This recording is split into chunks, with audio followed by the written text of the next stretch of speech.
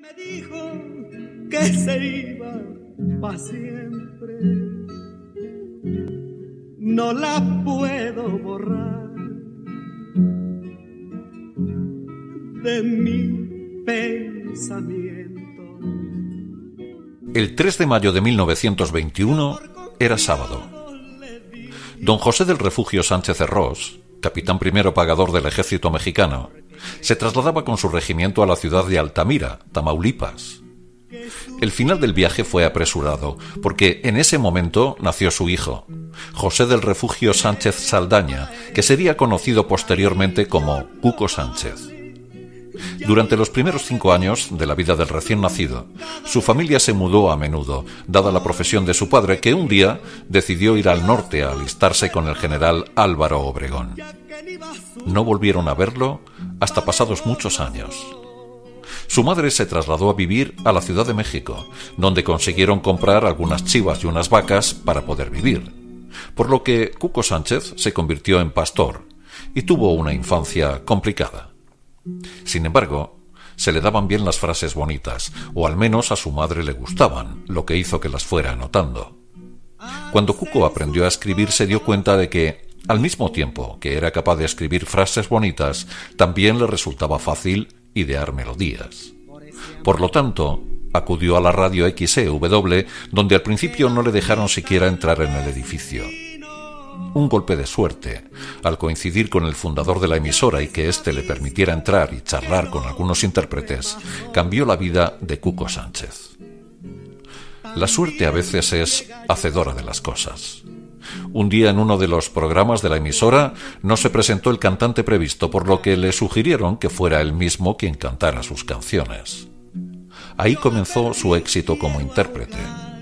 Corría el año 1937 Compuso más de 200 canciones, algunas de ellas para el cine, con un estilo que retoma la tradición de la canción revolucionaria.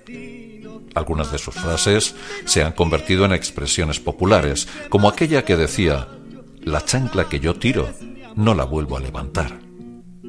Sus canciones han sido interpretadas por grandes cantantes internacionales como Miguel Aceves Mejía, Lola Beltrán, Pedro Infante, Chabela Vargas, María Dolores Pradera o Joaquín Sabina, entre otros. Cuco Sánchez falleció en el año 2000, a la edad de 79 años.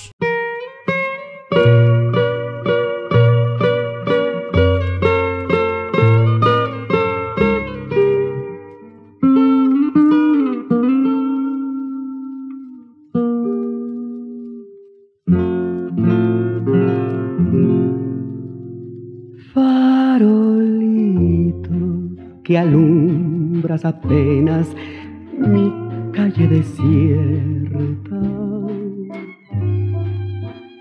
¿Cuántas veces me viste llorando llamar a su puerta? Sin llevarle más que una canción, un pedazo de mi corazón sin llevarle más nada que un beso friolento, travieso, amargo y dulce, farolito que alumbras apenas mi calle desierta. Cuántas noches me viste llorando llamar a su puerta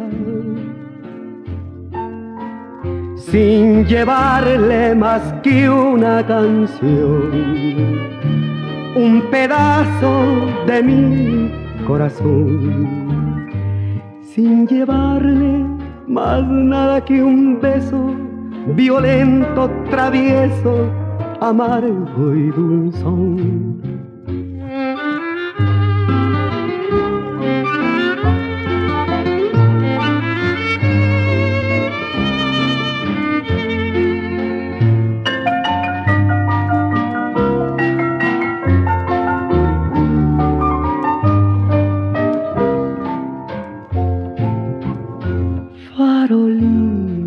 que alumbras apenas mi calle desierta. ¿Cuántas veces me viste llorando ya para su puerta? Sin llevarle más que una canción un pedazo de mi corazón sin llevarle más nada que un beso violento, travieso, amargo y dulzón. Puedes comprar el CD del artista en nuestra tienda de eBay.